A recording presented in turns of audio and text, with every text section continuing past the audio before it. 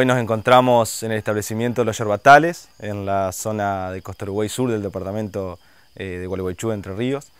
Eh, la verdad que ha sido una jornada más que interesante, hubo una convocatoria eh, que superó ampliamente nuestras expectativas, productores interesados por un poco lo que nosotros pregonamos desde, desde este lugar.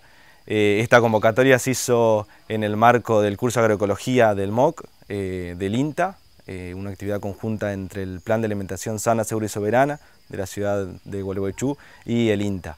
Eh, la verdad que, fue más que interesante, eh, hubo en una primera instancia una presentación digamos, de la jornada, hubo una descripción y caracterización socioproductiva del establecimiento, donde se contó las tareas que se realizan, la producción, la historia del lugar.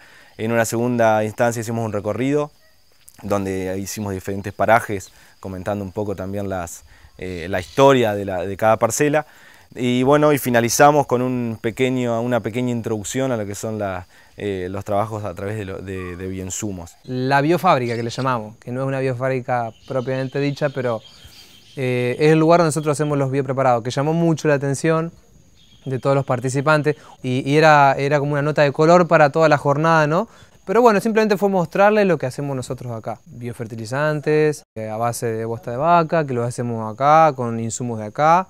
Eh, mostrarle el inoculante que hacemos para las semillas, para nuestra siembra. Y a su vez corroborar la calidad de esos preparados y insumos que usamos para la preparación de, esos productos. ¿no? Entonces usamos técnica, la técnica del agua oxigenada, que mide la actividad biológica, después probamos con alcohol la precipitación de la proteína, Fue como, es algo muy gráfico, pusimos distintos suelos en 6-7 tapitas y veíamos la actividad biológica de cada suelo, cosas muy gráficas que a la gente le quedan y, en realidad son más preguntas que respuestas, pero todas esas preguntitas quedan dando vuelta en la cabeza de los participantes y después capaz algunos se anima a averiguar, a leer, a investigar. No dimos las recetas exactas, pero fue más que nada como un disparador. Bueno, estuvimos viendo algunas prácticas de, fertilización natural, eh, manejo del estrato arbóreo, viendo diferentes especies del pastizal, cómo mejorarlo, cómo generar rendimientos estables y buenos a través del tiempo y cómo se va progresando.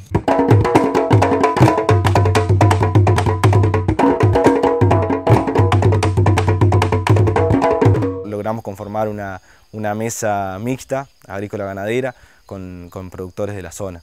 Esta mesa lo que hace es convocar a través del PAS, el Plan de Alimentación Sana, Segura y Soberana, a los productores interesados, principalmente del ejido de Gualeguaychú y alrededores también, para generar una vez al mes un encuentro con estos productores en diferentes campos, en diferentes establecimientos, para realizar un diálogo de saberes, intercambiar técnicas, intercambiar procesos para mejorar los establecimientos usando y teniendo en cuenta los principios agroecológicos. ¿no? El pastoreo racional, yo tuve una experiencia en campos en Buenos Aires que no me había ido del todo bien y acá vine a, ver algunas cosas que hay que hacer distintas para que te vaya bien.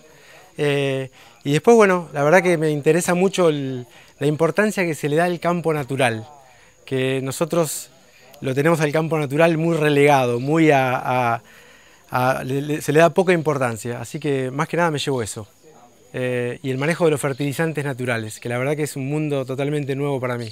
Para un productor es fundamental que estos son experiencias propias de un productor y es de un productor a otro productor. Entonces es, es muy valioso para ellos escuchar cómo resuelven los problemas que son comunes cómo resuelven el problema de las vacas que paren, cómo resuelven el pasto, cómo trabajan en invierno, qué pasa con, los, con las malezas, cómo, cómo se resiembra. Nosotros en este caso somos testigos de, de una interacción muy valiosa que se da entre ellos.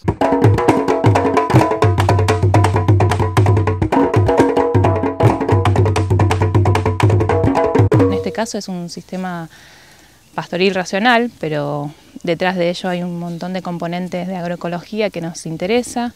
Nosotros desde el programa Pro Huerta trabajamos fuertemente en la agroecología, pero vinculada a otras actividades como la huerta, la producción familiar de alimentos para, para mover el cultivo, la soberanía alimentaria, alimentos sanos, accesibles para, para la comunidad.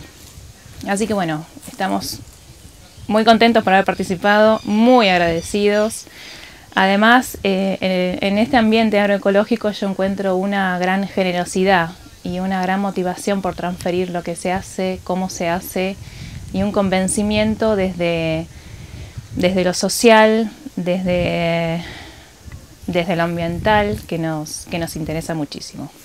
La verdad que estamos más que, agradecidos por, por, los productores que, que, seguimos sumando y que siguen eh, pensando y, y, bueno, y participando en este tipo de jornadas que, que son enriquecedoras de todos los puntos de vista.